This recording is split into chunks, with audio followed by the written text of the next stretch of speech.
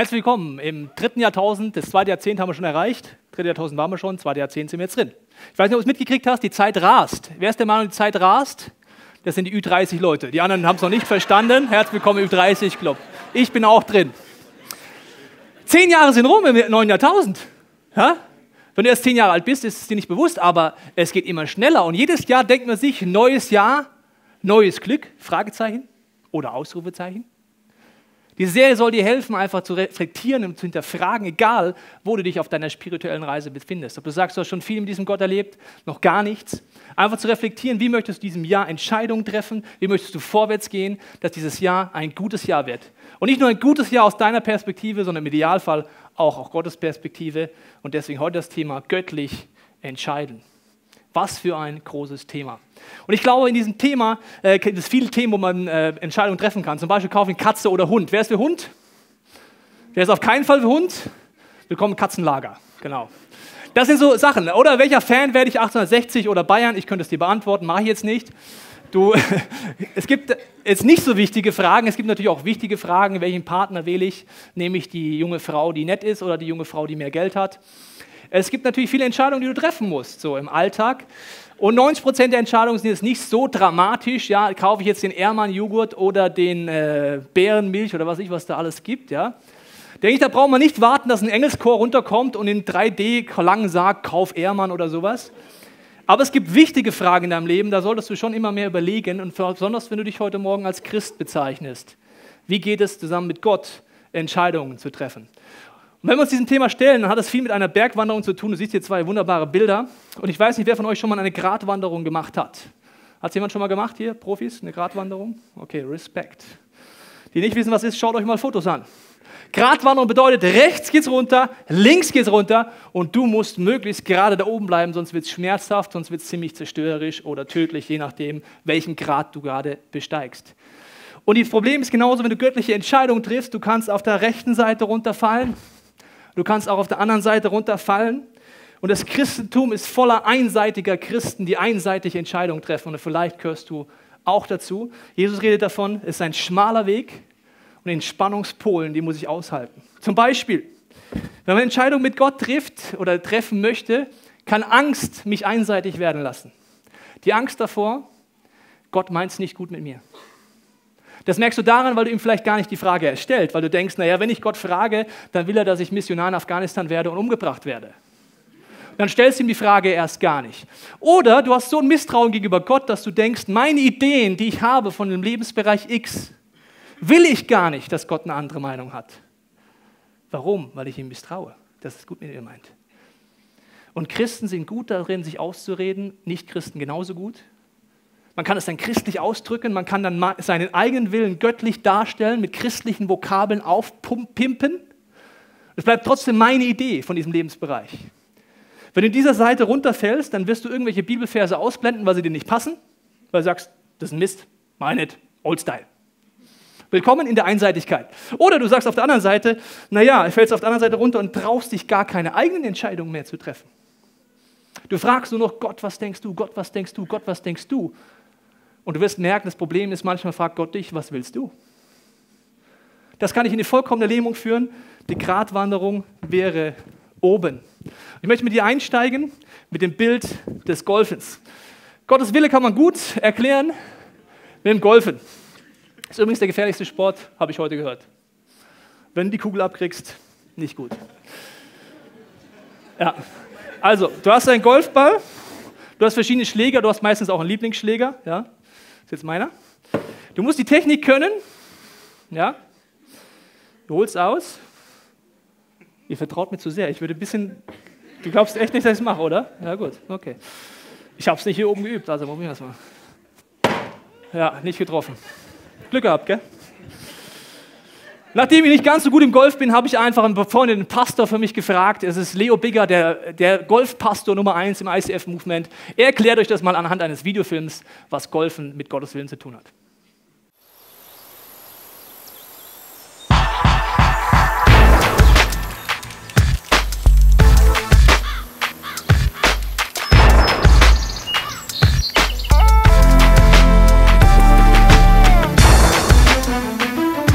Ich möchte dir den Willen von Gott anhand vom Golfspielen erklären von einem wunderbaren Golfplatz. Erstens, es gibt einen Golfdesigner, der designt das ganze Golfspiel, das Out und das Fairway und das Ziel und die Flagge, wie weit, wie breit, wie hoch, das wird designt. Das steht für mich als allererstes, das ist der souveräne Wille von Gott im Himmel. Es gibt einen Plan im Himmel über deinem und auch in meinem Leben und dieser Plan ist unveränderbar. Das zweite ist, es gibt im Golfplatz ein Out. Es ist begrenzt und der Ball muss immer irgendwo in der Mitte bleiben. Das Out steht für den moralischen Willen von Gott. Das heißt, wenn ich die zehn Gebote breche, du sollst nicht stehlen, nicht lügen, nicht töten. Das ist wie ein Ball in das Out zu spielen gibt, einen Strafpunkt. Der moralische Willen von Gott, das sind die zehn Gebote. Gott sagt, bewege dich in diesen zwei Linien und wenn du es brichst, ein Out machst, gibt es immer eine Strafe.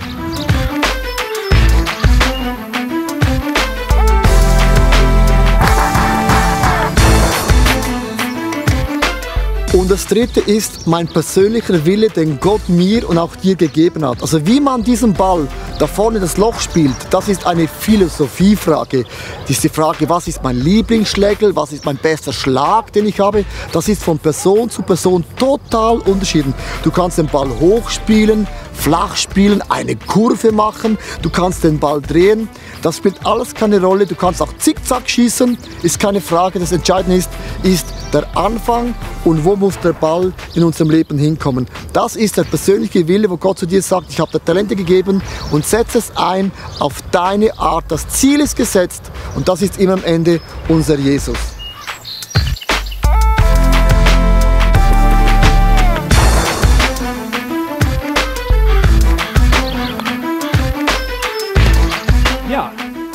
Klar. Ich steige noch ein bisschen tiefer ein ins Golfspielen. Was hat das mit Gottes Willen, mit deinem Leben zu tun? Wir steigen nochmal ein in den ersten Punkt, der souveräne Wille von Gott. Das ist so eine Sache, ja, der souveräne Wille. Die Christen sagen das immer, aber sie setzen es nicht um. Sie sagen, in der Bibel ist der meiste Teil von Gottes Wille schon erklärt. Was ich faszinierend finde, ist, wie viel Prozent der Christen dann dieses Buch aufschlagen. Das ist ein ganz tiefer Punkt jetzt. Das ist fast der tiefste Punkt heute. Also entweder machst du bla bla blub blub blub, ja, ja, ja, Bibel. Pff, pff. Dann glaubst du es gar nicht und dann glaube ich auch, warum du es nicht auflegst. Oder du hast ein Gewissensproblem. Wenn du der Meinung bist, 98% von Gottes Ideen stehen da schon drin, der souveräne Wille Gottes, das Design, das er in dich gelegt hat, seine Grundvorstellungen für dein Leben stehen da drin und du schaust nie rein, ist ein gewisses Problem, würde ich sagen. Das sehe ich genauso wie bei meinem Sohn. Er ist äh, ein Jahr und sieben Monate alt mittlerweile, nicht mehr sechs Monate, sieben Monate. Und er ist an dem gleichen Punkt, wo ich mich drin wiedererkenne, als Christ, als jemand, der mit Gott unterwegs ist. Es gibt folgende Situation, ich habe einen wunderbaren Laptop zu Hause und an diesem Laptop hat mein Sohn schon mitgekriegt, cool, da kommt Musik raus, da kann man Filme gucken und der Papa schaut da immer rein und tippt da irgendwie rum. So stelle ich mir vor, was er bis jetzt verstanden hat. Also sieht er den Laptop irgendwo stehen, was macht er? Da, hin und boom, haut mit den Händen drauf, pam, pam, pam, pam, pam, pam, pam. Wahrscheinlich will er irgendwelche Musik abspielen, Videos gucken oder denkt einfach nur, es ist lustig. Und dann kommt der Papa und sagt, nein, das gehört dem Papa. Ist so. Das Problem ist, ich müsste ihm jetzt eigentlich den souveränen Willen des Erfinders erklären. Ich müsste ihm erklären, was ist ein Computer, wie setzt man einen Computer aus, wann kommt Musik raus, wann kommt keine Musik raus, wie verwendet man das Ding, wann macht es süchtig, wann ist es gut, wann ist es negativ, wann ist es destruktiv, positiv und so weiter. Ich müsste ihm extrem viel erklären. Als Babychrist, als Babykind ist das fast nicht möglich. Da verstehe ich immer nur Folgendes. Gott sagt nein. Warum? Keine Ahnung. Das Problem ist, wenn das dein Bild von Gott ist, würde ich die Bibel auch niemals aufschlagen. Weil da kommt noch so nicht den Computer anfassen Aktion. Und das auch nicht anfassen. Oh Mann. Der Punkt ist, du musst anfangen zu verstehen, was ist das göttliche Gedanke hinter all den Angeboten in der Bibel. Der souveräne Wille Gottes ist von der ersten bis zur letzten Seite in diesem Buch. Das Problem ist, viele Leute lesen die Bibel falsch. Zum Beispiel folgendermaßen, du stehst dir auf und versuchst, den Text einfach zu lesen. Denkst du, ja gut, verstehe nichts, hm, okay. Der Erfinder dieses Buches sagt, du brauchst den Erfinder selber, um zu verstehen, was er sich dabei gedacht hat. Du brauchst den Geist Gottes, der dir erklärt, was meint er damit wirklich. Ich mache dir ein Beispiel. Mein Sohn mit dem Computer tut sich lauter Zusatzregeln ausdenken, weil er nicht verstanden hat, warum er nicht ran darf. Er hat nur Nein verstanden, Verbotsdenken. Also geht er immer in die Nähe von, dem Laptop und von der Anlage, wo er meistens angeschlossen ist, und sagt, nein, Papa. Schaut zu mir, lächelt, geht einen Kreis, geht ein bisschen näher hin und sagt, nein. Schaut zu mir, geht wieder weg, geht wieder hin, dann geht er so ganz knapp drüber mit der Hand so, aber berührt es nicht, also, nein. Ich stehe nur da und denke mir, ja, und irgendwann fasst er dann doch hin und macht Boom und dann kriegt er Konsequenzen von Papa. Aber er versteht es nicht. Verstehst du als Babychrist? Und vielleicht bist du, bezeichnest du dich auch gerade als Babychrist, weil du frisch im Glauben bist. Und nur weil du älter im Glauben bist, kannst du trotzdem übrigens in Klammern immer noch ein Babychrist sein. Ich möchte nicht zu nahe treten. Aber ein Babychrist liest so die Bibel, versteht das Design nicht. Und das ist genauso wie zu Zeiten von Jesus. Da kommen die Jungs und Mädels drumherum, die ernsthaft probieren, mit diesem Gott zu leben. Ernsthaft probieren. Gottes Willen rauszufinden. Das war ihr primäres Ziel, Gottes Willen rauszufinden. Und sie lesen ein Gebot, ein Angebot Gottes. Das ist nichts Moralisches. Du sollst den Sabbat heiligen. Das ist nichts Moralisches. Und dann denken sie, hat es jemand verstanden? Nö. Gut, aber wir müssen sicher gehen, dass wir jetzt nichts falsch machen hier. Also tun sie lauter Zusatzregeln machen. Das wäre genauso, wenn mein Sohn sich denkt, naja, der Papa hat irgendwas mit diesem Computer gesagt, den darf man noch nicht mal anfassen. Ich habe nur von draufschlagen geredet eigentlich. Ja? Der darf man nicht anfassen, da darf man nicht hingucken. Aber er dreht sich die ganze Zeit um diesen Punkt. Das, die Wohnung ist riesig bei uns, es gibt so viele Spielsachen, aber nein, nein, Papa. Der bleibt die ganze Zeit da. Willkommen in der Sünde. Der, nein, das darf ich nicht. Nein. Ich habe zwar nicht verstanden, warum Gott, aber nein. Ja? In unserem Leben sieht es oft genauso lächerlich aus, wie ich als Vater sich denke, Junge, ich würde dir gerne erklären, aber du musst erst ein bisschen älter werden. Dann erkläre ich dir den Computer, dann wirst du ihn nutzen dürfen. Stand heute, wir müssen es ein bisschen auf Unmündigkeitsschiene lassen. Die Bibel sagt, das Ziel ist für dich, dass du ein mündiger Christ wirst. Beim Sabbatgebot war es dann so, die Leute haben sich gedacht, sie haben nicht verstanden, warum man diesen Tag frei machen soll, also haben sie Zusatzregeln gemacht. Wie viele Schritte darf man gehen? Was darf man wie? Darf man den Esel noch reiten oder nicht reiten? Und so weiter und so fort. Und Jesus kommt auf die Erde und denkt sich, ach du liebes Lieschen, was macht ihr denn hier? Wir tun den souveränen Willen Gottes, den wir in der Bibel gelesen haben, umsetzen. Und Jesus denkt sich, alter Falter, Ihr habt die Idee nicht verstanden. Das wäre genauso, wenn mein Sohn einfach lebenslang da stehen bleibt. Da darf man nicht draufhauen. Warum? Man darf halt nicht draufhauen. Der Papa hat zwar da immer Spaß. Das ist übrigens unser Bild von Sünde. Ne? Es wäre Spaß, aber Gott verbietet es mir. Computer sind neutral, wenn man weiß, wie man damit umgehen kann. Und so ist auch beim Sabbatgebot. Und der Punkt ist, ich mache dir ein Beispiel mit diesen Zusatzregeln, die werden immer falsch. Meine Frau und ich zum Beispiel haben gemerkt, Sabbat ist etwas Faszinierendes und ich habe ein Jahr lang gesucht in der Bibel, was bedeutet es. Ein Jahr lang, ist lang, gell? Weil ich gemerkt habe, ich habe so viele Ideen in meinem Kopf, was sein können ich wollte wissen, Gott, was denkst du dir? Ich habe lauter Bibelstellen gelesen und habe gemerkt, das ist ein Tag, wo ich so tun darf, als wäre alles erledigt. Ich darf so tun. Es ist nicht alles erledigt, das habe ich früher gedacht. Und ich habe gedacht, wenn ich alles erledigt habe, kann ich keinen Sabbat machen. Das ist ein Tag, wo ich lernen darf, einfach zu sein. Im Englischen heißt es Human Being, wir sind aber oft Human Doings. Du bist ein Human Being, so bist du geschaffen. Der Sabbat ist eine Chance, aus diesem Rad auszubrechen, wieder zu sein, aufzudanken an Körper, Seele und Geist. Und jetzt kommt das Problem. Gott sagt, du darfst einen Tag lang, und ich kann jetzt nicht tief genug einsteigen, aber ich möchte es dir kurz zeigen, einfach von der Arbeit ruhen. Und wenn ich dir jetzt Zusatzgebote machen würde, würden die falsch. Warum? Ich würde sagen, als Tobias Teichen, Ausleger der Bibel, Gebote Gottes auslegen, sage ich dir einfach, es ist verboten am Sabbat shoppen zu gehen. Weil shoppen ist die größte Arbeit, die einem Mann auferladen werden kann. Du darfst nur nicht mal dran denken, das ist schon Arbeit. Das ist Tobias Teichen Idee. Dann würde mal eine Frau vorbeikommen und sagen, was? Das entspannt mich, ein paar Prospekte durchblättern, das wäre noch schön und das wäre noch schön und schon ist alles toll. Die sagt dir, Sport ist Arbeit, lieber Tobias. Du darfst an Sport noch nicht mal denken. Beide würden es voll verpassen. Merkst du, wir verstehen nicht, was der Punkt eigentlich ist, machen Zusatzgebote, werden komplett falsch, schräg, in Klammern Christen. Entschuldigung, ich bin auch einer, ich darf über mich selber lästern. Wenn du keiner bist, findest du es lustig, wenn nicht, dann nicht.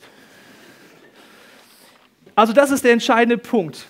Ein Zitat habe ich dir mitgebracht von, das heißt, äh, wir sehen die Dinge nicht so, wie, wie, wie sie sind, sondern wir sehen die, sie so, wie wir sind. Wir sehen die Dinge nicht so, wie sie sind, sondern wir sehen sie so, wie wir sind. Also wenn mein Gottesbild so ist, meine Prägung ist, meine Tradition so ist, dann verstehe ich das alles bei Gott so. Und dann gut Nacht und zu, dann kannst du die Bibel auch zulassen. Du brauchst Gott, der dir zeigt, was denkst du. Und beim moralischen Willen nur ganz kurz davor, das ist nicht das Grunddesign, das sind die Gedanken, wo Gott sagt, das ist das Aus im Golfspiel. Es gibt eine Spielfläche, da darfst du dich frei bewegen, links, rechts, geradeaus. Aber es gibt ein Aus und wenn du da rausspielst, dann wird es dir schaden. Zum Beispiel mein Sohn. Beim Computer könntest du sagen, naja, der Tobias, der alte Geizhal, könnte doch mal seinen Sohn den Computer kaputt hauen lassen. Das sind halt 1500 Euro kaputt, das stell die halt nicht so an. Aber unsere Kaffeemaschine zum Beispiel, ja, da hat er auch beim Papa gesehen, bei der Mama, es gibt einen roten Knopf, es gibt einen grünen Knopf. Man muss erst den roten Knopf drücken und dann den grünen, dann kommt da was raus, dann stellt man irgendwas drunter und dann holt man es runter. So, jetzt kommt die gleiche Situation. Was sagt der Papa? Nein. Warum? Ich müsste ihm jetzt erklären, was ist Kaffee, was ist heiß. Warum tut heiß weh und warum ist es keine schlaue Entscheidung, einen Kaffeekelch oben hier über zu schütten? In der Theoriebasis, ohne dass er es bis jetzt ausprobiert hat. Das ausprobieren und dann müsste ich nur sagen, Kaffee ist wieder neutral, Kaffee kann dich süchtig machen, Kaffee ist aber auch was Gutes, du kannst damit ein Leben genießen oder du bist ein Koffein-Junkie. Ja? Das kann ich ihm wieder alles nicht erklären. Und bei dem Punkt ist das Problem, wenn er draufdrückt, was er andauernd macht, und ich nicht rechtzeitig mal irgendwann komme, tut er sich weh. Willkommen im moralischen Willen von Gott. Der sagt, wenn du ins Aus gehst, kriegst du einen Strafpunkt. Das heißt, ich sag's dir nur vorher.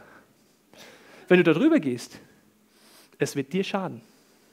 Und wie reagiere ich jetzt als Vater, wenn er das macht? Und irgendwann denke ich, ich will das schaffen, ohne dass ich es mitkriege, da drauf zu drücken. Ich hoffe und bete, dass er sich nicht verbrüht. Aber stell dir vor, er würde irgendwas tun, was sich weh tut. Wie reagiere ich? Sage ich, du alter Pinsel. Du Stinkpilz. Der Papa hat es dir hundertmal gesagt. Roter Knopf, grüner Knopf, Kaffee. Nein. Du checkst es noch nicht, du willst es auch noch nicht verstehen, du kannst es noch nicht verstehen. Jetzt ist der Papa nicht mehr dein Papa, jetzt ist er sauer. Jetzt schau, was du machst. Die Eltern uns wissen, was ich jetzt meine. Wenn dein Kind leidet, leidest du mit. Wenn mein Kind sich verbrennt, heute Morgen äh, tut er sich hier oben die Finger einklemmen. Als Eltern leidest du mit. Die es nicht verstehen, kriegt Kinder, dann versteht, was ich meine. So ist Gott auch. Der sagt, schau mal das aus. Wenn du das ausgehst und dann Verletzungen hast und einfach dich verbrühst, dann leidet er mit. Und trotzdem habe ich einen Wunsch als Vater, nämlich, dass der Junge einen Lerneffekt hat. Dass er beim nächsten Mal nicht wieder den Kaffee sich drüber schüttet und sagt, Wunschgeil. Gott muss manchmal verrückt werden bei uns. Er sagt, schau mal, vertrau mir bitte, vertrau mir bitte, vertrau mir bitte. Hallo, ich bin sein liebender Vater. Hallo. Dann erlebst du es, pff, drüber kütten. Zwei Wochen später, pff, drüber kücken und dann denkst du hallo, Lerneffekt null. Willkommen im Christentum wieder. Also als Vater hätte ich den Wunsch, dass der Lerneffekt kommt, natürlich. Also so ist es beim, beim moralischen und beim, bei dem äh, souveränen Willen Gottes. Ich muss verstehen, was steckt dahinter. Und jetzt kommt dein persönlicher Wille ins Spiel. Ich glaube, du musst Entscheidungen treffen. Es gibt jetzt wieder diese Spannung, dass man zwei Seiten runterfallen kann. Die einen denken, wenn es um Willen Gottes geht, Gott kann mich nicht gebrauchen. Meine Gaben reichen nicht. Ich habe mir das heute Morgen mal angeguckt. Ich kann weder Golf spielen, noch Gitarre, noch reden. Mich braucht es nicht. Willkommen in der Einseitigkeit. Wenn du so lebst, wirst du den Plan verpassen. Dann gibt es andere, die haben es auch wieder ein bisschen falsch verstanden. Die denken, naja, ich habe mal so gehört, Gott hat keinen Plan B. Das heißt, er hat was in mich reingelegt und wenn ich es nicht mache, dann wartet er halt, bis ich es mal mache. Also easy, Ball flach halten, kommt schon noch. Stimmt beides nicht. Gott will dich gebrauchen, aber er muss es nicht. Gott hat die Gaben gegeben, aber wenn du es nicht machst und sagst nein, wäre es absolut grässlich, wenn Gott dann sagen müsste, Mist, jetzt kann ich auch nichts mehr machen. Stell dir vor, Mose einer der großen Jungs im ersten Teil der Bibel, führt zwei Millionen Menschen aus der Versklavung raus, soll sie begleiten in eine Freiheit herein. Zwei Millionen Mann sind am Start. Und Mose packt es nicht. Mose biegt falsch ab. Mose versagt. Und wenn Gott keinen Plan B hätte, dann würde die Geschichte folgendermaßen weitergehen. Und Mose und Gott saßen auf dem Berg und weinten. Mensch, Mose, jetzt hast du es verbockt. Da unten sind zwei Millionen, die müssen wir jetzt verrecken lassen, weil du es nicht hingekriegt hast. So geht die Geschichte leider nicht weiter. Sie geht ziemlich hart weiter. Gott sagt, Mose, du kannst sie nicht reinführen. Das wäre meine Idee gewesen für dich, aber du machst es nicht. Jetzt macht sie Josua. Die Spannung musst du halten. In der Mitte bleiben, sagen, es stimmt beides. In den nächsten Wochen werden wir uns dann beschäftigen, was wir als Kirche vorhaben, was du vielleicht vorhast in deinem Leben. Wenn du hier runtergehst und sagst, naja, Gott kann mich nicht gebrauchen, dann wirst du in diese Bewegung, die Gott in deinem Leben dieses Jahr vorhat, nicht einsteigen. Wenn du hier runterfällst, auch dann, wenn du sagst, naja, warten wir mal ab. Ich bin jetzt schon 30 Jahre rumgeduldet in meinem Leben, dann lull ich halt nochmal 30 Jahre rum. Als wir diese Kirche angefangen haben, haben wir zu Gott gesagt, bestätige uns bitte, dass du diese Kirche möchtest, indem du damals unsere besten Freunde, die keine Christen sind, übernatürlich berufst, dass sie Kirche bauen, ohne dass wir sie fragen. Das wäre für uns eine Bestätigung, dass du eine neue Kirche möchtest in München. Unsere Freunde zur damaligen Zeit, auch heute noch sehr gute Freunde, Basti und Verena, hat Gott auf eine abgefahrene Art vom vollkommen Atheist zu einem Christ berufen, die gesagt haben, sie wollen Kirche gründen. Das sind so Momente, wo ich merke, dass Gott mit mir redet. Und das sind meine Gedanken und in mir war es so, dass Gott mir sagt, schau mal Tobias, der Basti und Verena, die waren gestern noch keine Christen, heute wollen sie Kirche bauen. Machst du mit? Ja oder nein? Wenn du es nicht Tobias, werde ich weiter Atheisten berufen, weil die Christen ihren Arsch nicht hochkriegen. Dass es mir so eingefahren ist, gesagt habe, Jesus, ich will dabei sein. Ich will kein Jahr verschwenden. Ich will beim Abenteuer ganz vorne dabei sein. Und wir sind gute Menschen darin, einfach rumzulullen. Und diese Theologie, das kein Plan B, kann mich dafür führen, dass ich in der Ewigkeit mir so dermaßen in den Hintern beiße, weil ich merke, ich habe Chancen nicht genutzt. Natürlich ist Gott gnädig, da kannst du jetzt auch wieder auf der Seite runterfallen. Er gibt dir Chancen, nur es wäre schrecklich, wenn er von mir, Tobias Teichen, abhängig wäre, dass München verändert wird. Das wäre schrecklich. Verstehst du? Er will es mit mir machen muss es aber nicht. Nächste Woche Vision Day, in zwei, drei, vier Wochen United. Die Frage ist, klingst du nicht mit ein, ja oder nein? Und jetzt ist die Frage, wie gehe ich damit um, mit der Berufung? Was ist, wenn Gott mal laut redet, mal leise redet, weil beides gibt es auch. Es gibt die Extreme, dass man denkt, okay, nur wenn Gott in 3D-Film ans Himmel malt, dann ist es Gott. Es muss so abgespaced sein. Und dann gibt es die, die, die sagen, naja, einfach nur rational durchdenken sind wieder zwei Extreme. Es stimmt wieder beides. Du hast ein Hirn gekriegt und du hast den Heiligen Geist, der das Hirn sprengen darf. Werde ich gleich nochmal drauf eingehen. Also wie kann ich mir das jetzt vorstellen? Wie kann ich Gottes Willen erkennen? Ein paar Tipps. Erstens der Listenstil. Das ist genau dieser Punkt. Wenn du eine wichtige Entscheidung triffst und nicht kaufst du Ehrmann oder Wein Stefan Joghurt, sondern eine wichtige Entscheidung triffst, ist eine Pro- und Kontraliste, eine Analyse des Problems sehr sinnvoll. Weißt du warum? Weil du weißt, wie groß ist dein Glaubensschritt wirklich? Was bedeutet es wirklich? Und dann kann Gott dir zeigen, welche Richtung er mit dir gehen möchte. Weder das Extrem nur Gefühle ist richtig, noch das Extrem nur Denken ist richtig. Der schmale Weg ist wieder in der Mitte. Dann der nächste Punkt ist der Zeichenstyle. Also der Punkt, Gott gibt mir ein Zeichen. Der ist super, aber auch heikel, werde ich dir kurz erklären. Ich bin an einem Tag Lehrer in der Schule wenn es nach mir ginge, wäre ich schon längst Vollzeit in der Kirche aktiv. Warum es zerreißt mich, in zwei Jobs sein zu müssen. Ich sage jedes Jahr zu Gott, okay Gott, es gibt aber gewisse Hinweise, warum du mich in der Schule haben möchtest. Gib mir ein Zeichen, sodass ich es verstehe, dass ich noch in der Schule bleibe. Ich gebe dir die Möglichkeit, dass dein Wille geschieht, weil mein Wille war schon klar. Verstehst du? Mein Wille ist schon seit drei Jahren klar. Ich könnte es jetzt hinbiegen, mir Bibelstellen aussuchen, gehen in das verheißene Land, ich bin mit dir oder keine Ahnung was bisschen Bibelroulette spielen und dann würde ich sagen, Mensch, Gott will das. Ich will immer die Möglichkeit haben, geben, zu mir zu reden. Und ein Zeichenstyle war es dann so, zum Beispiel vor zwei Jahren war ich wieder an dem Punkt, da habe ich meiner Frau gebetet, ziemlich lange. Und dann war mein Gebet an einem Punkt, wo ich leise und ich habe gemerkt, meine Motive stimmen und ich sage zu Gott, wenn du wirklich möchtest, dass ich nächstes Jahr nochmal in die Schule gehe, brauche ich zwei Zeichen von dir. Erstens, ich brauche einen Stundenplan, der wirklich auf einzelne Tage festgelegt ist, sich nicht zerzettelt. Und ich möchte keine Hauptfächer mehr unterrichten weil bei Hauptfächern bedeutet es, dass du wesentlich mehr Aufwand hast, du bist 50 Prozent angestellt, arbeitest aber für 80 Prozent. Gott hat das gemacht, abgefahrenerweise. Ich bin jetzt Sportlehrer, was sehr cool ist. Der braun gebrannte Sportlehrer, immer ein cooler Outfit unterwegs. An einem Tag in der Schule. Ich sag dir, was jetzt heikel ist an diesen Zeichendings. Ja? Du kannst dich selber so dermaßen beeiern. Ja?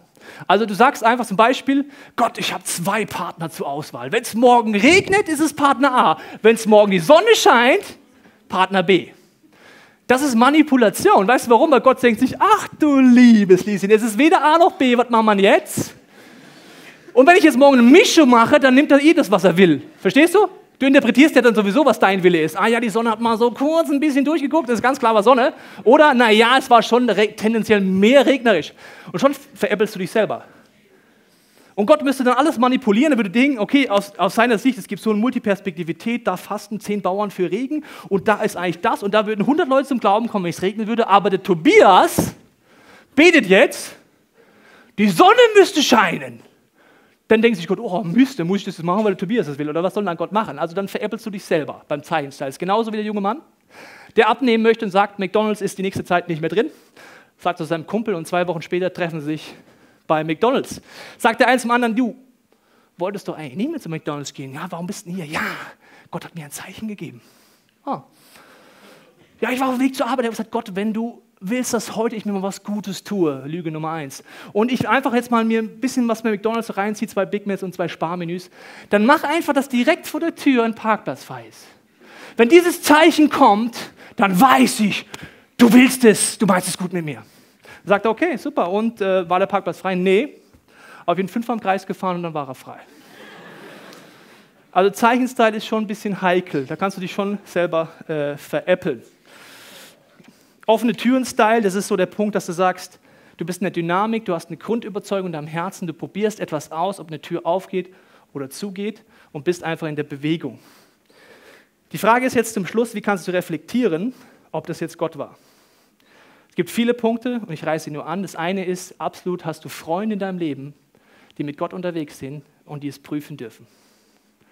Paulus sagt mal, prüft alles, das Gute behalte. Nicht nur prüft das, wo du gerne hättest, dass es in eine Richtung geht, sondern alles. Freunde sind deswegen gut, weil sie emotional nicht in der Situation gefangen sind wie du. Zum Beispiel am 26. habe ich hier gepredigt, am 25. war ich noch in Jena bei meinen Schwiegereltern. Es war Schneechaos, schlechte Prognosen für die Straßen. Meine Frau war krank und ich hatte die Frage, Gott, fahre ich heute Nacht nach München, um Sonntag zu predigen, ja oder nein? Jetzt wird es ein bisschen schwierig. Woher soll ich das wissen? Es kann sein, dass ich die Nacht auf der Autobahn übernachte, gar nicht ankomme. Es kann sein, dass meine Frau immer schlechter geht und ich denke mir, wäre es mal da geblieben und die Spannung in mir, naja, aber eigentlich sind ja auch Leute und da würde ich predigen, die war zu groß. Und in so Situationen empfehle ich dir, da kannst du selber gar nicht mehr so gut entscheiden. Deswegen haben meine Schwiegereltern gesagt, meine Frau gesagt, wir hören jetzt mal gemeinsam auf Gott. Und ich habe zu Gott gesagt, ich habe jetzt keinen Bock auf Rätselraten. Gib allen das Gleiche und ich mach's. Egal was es ist, ich bleibe hier oder ich fahre. Da vor dem Gebet haben alle drei gesagt, naja, es ist, glaube ich, nicht so gut, es ist zu gefährlich und was ich was alles. Und nach dem Gebet sagen alle drei, wir glauben, dass du fahren sollst. Dann bin ich gefahren, ich selber hatte nichts. Das ist oft übrigens so. Wenn ich emotional drin bin, ist für mich selber das Schwierigste zu entscheiden. Ich brauche Leute, die mir helfen, das zu prüfen. Dann natürlich zeigt, was sagt die Bibel dazu? In dieser Spannung bleiben. Und ist es zeitlich und inhaltlich passend? Damit meine ich, es gibt rote Fäden in deinem Leben. Und solange es in diesem roten Faden stimmt, die Entscheidung, muss ich nicht so ewig prüfen, wenn es anders ist. Wenn ich morgen auf die Idee käme, nach Afghanistan als Missionar zu gehen, das ist nicht die logische nächste Entscheidung in meiner Lebenslinie. Das darf Gott mir zeigen, keine Frage. Aber dann prüfe ich es wesentlich mehr, als wenn es einfach in einem roten Faden, wo ich merke, in diese Richtung geht mein Leben gerade mit Gott, geht. Ich weiß nicht, wie es dir geht, wenn du das alles hörst. Ich glaube, dass du Entscheidungen treffen musst. Es gibt auch Situationen, das ist mein Abschlussgedanke, wo Gott entweder gar nicht deutlich redet, sondern vielleicht gar nicht redet. Das können Situationen sein, wo er sagt, links oder rechts, mir egal.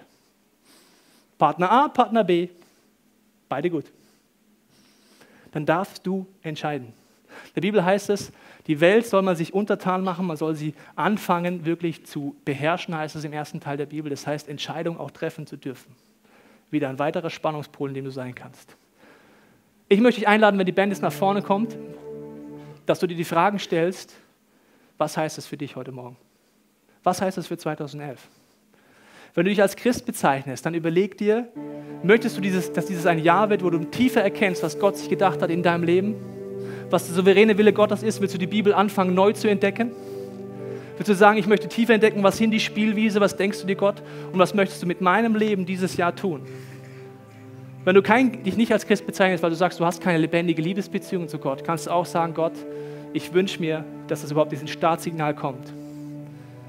Vielleicht hast du heute gemerkt, dass du wie in der Babyphase des Glaubens stecken geblieben bist. Dann ist dieses Jahr die Chance, Schritte zu gehen und ein mündiger Christ zu werden. Du wirst viele Angebote in dieser Kirche kriegen. Ich werde dir viel davon erzählen, auch beim United am 16.01. Die Frage ist, nutzt du sie, ja oder nein? Jesus, bitte ich jetzt für die Zeit, die wir haben, dass wir einfach in unserem Herzen mit dir reden können, was uns wichtig ist, was uns auffühlt und dass du uns zeigst, was wir einfach in diesem Jahr uns wünschen, was unsere Sehnsucht ist, in unserem Leben mit dir zu erleben.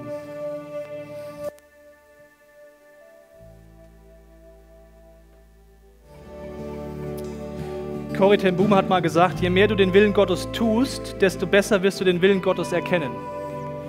Je mehr du den Willen Gottes tust, desto besser wirst du den Willen Gottes erkennen. Ich möchte dich einladen, eine Entscheidung zu treffen, Dinge auszuprobieren.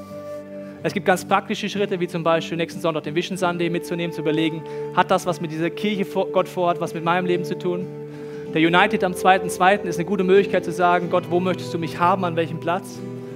Oder wenn du diese Kirche noch gar nicht gehst, ist heute Vision Day, heute Nachmittag, kannst du da dazukommen. Aber ich möchte jetzt vor allen Dingen beten mit denen, die sagen, ich will tiefer verstehen, was Gottes Wille in meinem Leben ist. Ich möchte praktische Schritte gehen, dann bete in deinem Herzen mit. Jesus, ich danke dir für dieses neue Jahr 2011 und dass es wirklich wieder mal gewaltige Chancen in sich birgt, dich besser kennenzulernen, dich mehr zu lieben am Ende dieses Jahres, Menschen mehr zu lieben und uns selber mehr zu lieben. Und ich bete für jeden, der das möchte, dass du uns Durchbrüche schenkst in diesem Jahr, dass wir tiefer verstehen, für was wir auf dieser Erde sind, was du durch uns tun möchtest, wo wir an welchem Platz wir mit anpacken können, dass Menschenleben verändert werden. Und Jesus, ich bitte dich für jeden heute Morgen, der sagt, ich kenne dich noch gar nicht, dass du einfach in dieser Woche weiter an den Herzen arbeitest, Schritt für Schritt. Jesus, ich bete, dass 2011 für jeden in diesem Raum, der es möchte, ein Jahr wird, wo wir, selbst wenn wir uns gerade fühlen wie Babychristen, weil wir am Anfang sind, durchbrechen und mündige Christen werden das ist mein Wunsch für mein Leben und für jeden Einzelnen in dieser Kirche. Wir möchten als Abschluss dieses gesungene Gebet nehmen, wo es heißt, äh, Jesus, nimm mein ganzes Leben. Und wenn du möchtest und sagst, du bist an diesem Punkt, kannst du das als dein Gebet singen für dieses Jahr. 2011, Gott, dein Wille soll geschehen. Ich möchte nicht mehr meinen Willen hinbiegen, sondern tiefer verstehen, was du vorhast in meinem Leben. Und wenn du möchtest, kann das dein Gebet sein jetzt.